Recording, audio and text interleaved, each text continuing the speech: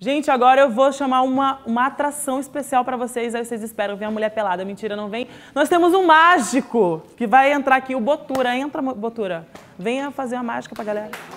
Gente, não. Tudo bem? Não tem assistente gostosa, mas eu vou fazer o papel. Isso, vou pegar aqui. Gente, a mágica é aqui. Vou derrubar o copo, que sou desastrado demais. Isso aqui tá bom. Aqui tá é isso aí, gente. Bom dia. Bom dia. Tudo bem com vocês? Tudo bem mesmo. Sim, todos animados para essa nova jornada? Sim. Ah, então tá bom. Antes de, de partir propriamente dito para o número, existe uma reflexão que eu gosto de fazer antes de sempre que começo meus espetáculos, que na verdade é um conto sobre um mágico atuante muitos anos e passa por uma cidade. É um mágico que passa por essa cidade para se apresentar em teatro. Afinal do show, Duas crianças, um casal de crianças, vêm até ele e perguntam se ele poderia realizar um número de mágica. Afinal, eram duas crianças muito pobres que não tinham dinheiro para pagar o ingresso. O mágico, saindo do camarim, realiza um pequeno truque e essas crianças vão embora encantadas com aquilo. Aproximadamente 30 anos depois, ao regressar a este mesmo teatro, um casal de idosos entra em seu camarim e a moça lhe pergunta: Por favor, senhor, poderíamos realizar um número de mágica? Ele diz, mas a senhora acabou de assistir duas horas de espetáculo e viu muitos números. Teria que vir aqui e me pedir um número de imagem? Ela falou, não, mas a questão não é que eu estou te pedindo um número, é que você recorda desta frase e o mágico resgata em sua mente aquele fatídico dia em que duas crianças lhe pedem para fazer o número. Sim, era um casal de crianças, dois idosos que vieram para lhe pedir o número. Seria apenas mais uma história comum, não fosse o fato de o idoso ser cego. Sim, aquela criança era cega. Eles perguntam: como um cego pôde se encantar com um número de mágica? Porque sim, ele não viu um número com os olhos da razão, e sim com os olhos da alma. Senhores, peço a vocês que vejam esse número com os olhos da alma e não com os olhos da razão. Muito obrigado.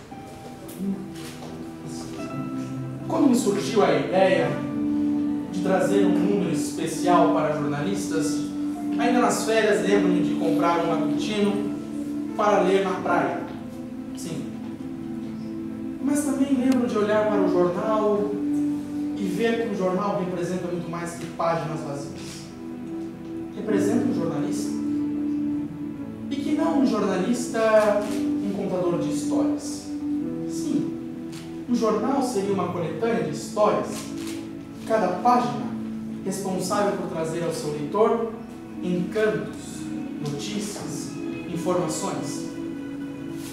Um jornalista é responsável por buscar essas histórias.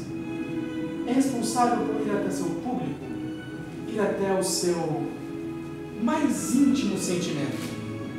Buscar estas histórias e sim, responsável por digeri-las, discerni-las, Esta é a função do jornalista.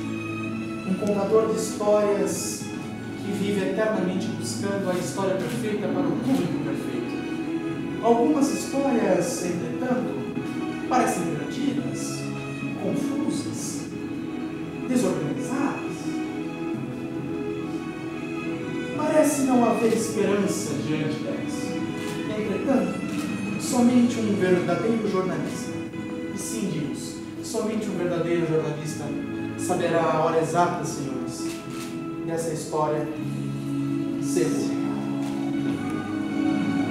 Assim é a vida de um jornalista, com uma magia repleta de encantos, mistérios e fantasias. Celebremos a alegria, celebremos esta nova jornada, celebremos a nova profissão de vocês, o mundo fantástico do jornalismo.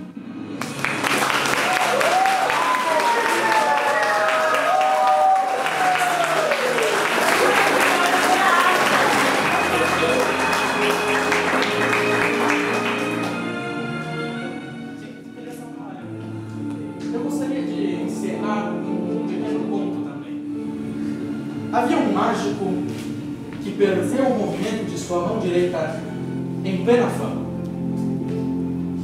Com nove anos de idade, já foi privado de seu movimento mais preciso, que era realizado com a sua mão direita.